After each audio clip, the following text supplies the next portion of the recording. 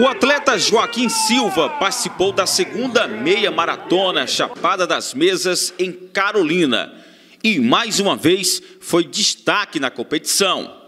Antes de iniciar a prova, o atleta balsense gravou um vídeo e mandou para a nossa equipe. Olá, bom dia, bom dia, meu amigo Diego Costa. TV Capital Balsas Maranhão, Joaquim Silva se encontra aqui na Pedra Caída. É, logo, logo aqui vai iniciar a largada do 21km. E eu estou aguardando o meu, o 21km. Falou Diego Costa, ao vivo e a cor Joaquim Silva, aqui diretamente da Pedra Caída.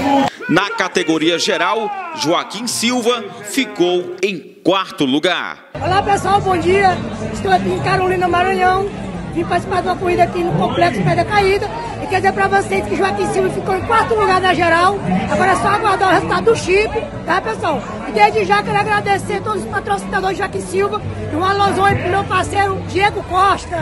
O nosso atleta balsense foi mais uma vez destaque nas competições e trouxe mais uma medalha para Balsas. O atleta agradeceu todos os apoiadores e incentivadores. Quer dizer para você, Diego, estou aqui na recepção da Pedra Caída. Tá? Quer dizer para você que a prova foi belíssima. Joaquim Silva tem um resultado de quarto lugar na geral. Tá? Quer dizer para vocês, para mim é muito satisfatório representar Balsas por onde eu passo, tá? E desde já quero agradecer todos os patrocinadores de Joaquim Silva. Um abraço aí de Joaquim Silva, Diego Costa, TV Capital.